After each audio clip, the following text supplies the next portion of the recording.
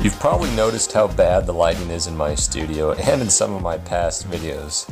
Today I'm going to show you how I fixed that problem. And I gotta thank Jason the World Traveler for sharing this with me because it actually didn't cost me hardly anything and it was very easy to install.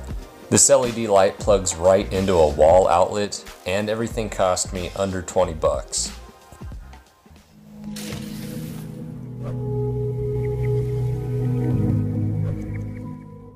First, I want to wish you all a happy snow moon. Um, this moon phase, the moon is very, very bright. It really looks like an LED light, and it brings a lot of snow. But because of this cold, I've had to postpone the video I wanted to put out because I have to film some of that video outdoors. But you can subscribe to stay updated with my weekly uploads. And be sure to hit the like button at the end of this video if you find this helpful. So let's get started here.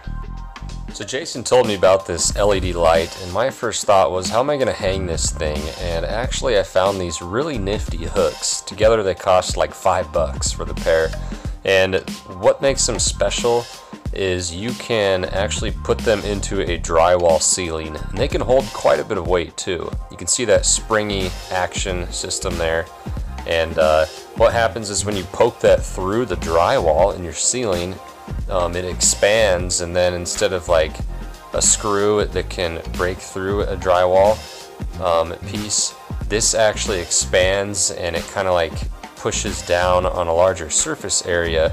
Because as you know uh, we never want to screw into drywall when we're trying to hang something. So this is a really great system. Um, you know these were really cheap. You could probably find some nicer ones but uh, you know you get what you pay for. Um, these were super simple to set up. The uh, only thing that I really didn't like about them was uh, somehow it, the like white paint got chipped a little bit. You could kind of see it there. Um, but you know I don't really care. This is like a studio room.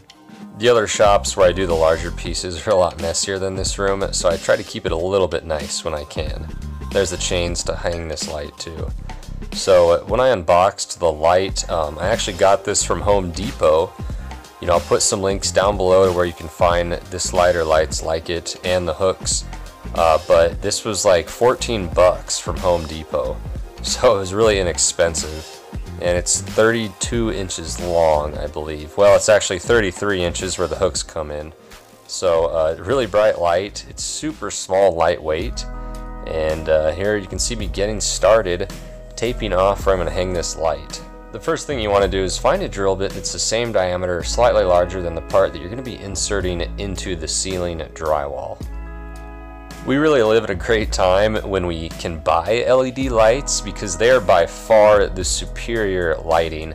Uh, they last way longer, they use up way less energy, and uh, they're brighter. So they're just like a by far superior uh, light for just about anything. And uh, I really need that in the studio, as you can see, because you want to be able to see all the little details when you're making a sculpture or painting or drawing or whatever. Now, you will make a little bit of a mess here, so just keep that in mind. You surely don't want the debris like on your uh, art supplies or on your valuables, uh, but it wasn't as bad. I had to drill out the holes a little bit because they weren't quite wide enough just remember that I am working with drywall here, so I gotta be careful not to force anything. It's really easy to crack drywall and make a huge mess or damage it permanently. So once I get it in there, I just want to be really careful here when tightening up the screw. This is really clever the way this system works. After poking that spring-loaded metal clamp through the hole, it'll like spread out and it'll actually pull against the top of the drywall allowing you to tighten the screws. I want to be sure and adjust it right to the length that leaves just enough room for it to poke through to the other side. And once you get it in the drywall in the ceiling, um, it is kind of hard to actually get some tension on that clamp so that the screw can actually tighten through the thread. I'll show you how to do that here. Um, you just want to kind of pull on that screw just a little bit and then use the screwdriver to uh, slowly turn it and then it will tighten.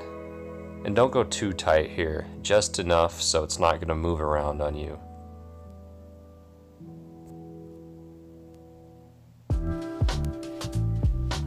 both chains actually came with the LED light. And the link to the uh, hooks that are sold separately, um, they have everything you need together.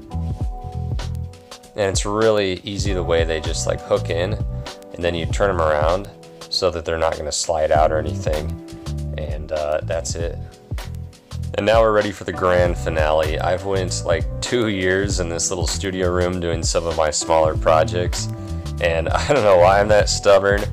Um, I actually spent probably like 50 or 60 bucks on other lights that I've used in here and elsewhere.